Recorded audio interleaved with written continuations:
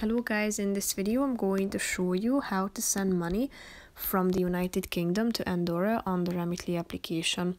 But first I just want to mention, don't forget to subscribe to my channel because at 100,000 subscribers I am going to show you my whole YouTube revenue statistics and growth strategy, how to make money online. Now let's jump into it. First of all, open the application on your phone after that you should tap on the flag icon in the upper left corner of the page and then type in uh, Andorra into the search bar. Tap on it and click on get started at the bottom of the page.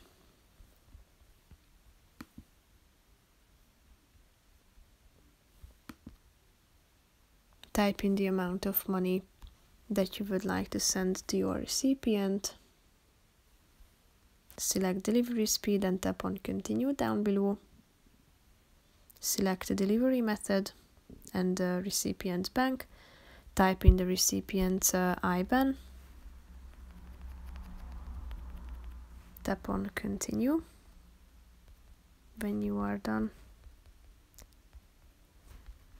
And then you should add the recipient's uh, first and uh, last name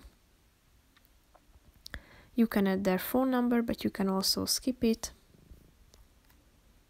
And then type in the sender details, first, last name, date of birth. Tap on continue. Tap on confirm.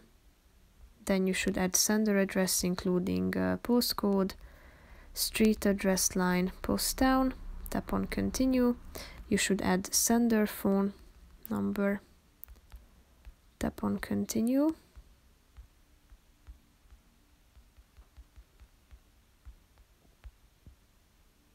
Tap on add new card then you should type in your card details and after that you will be able to tap on the next button down below.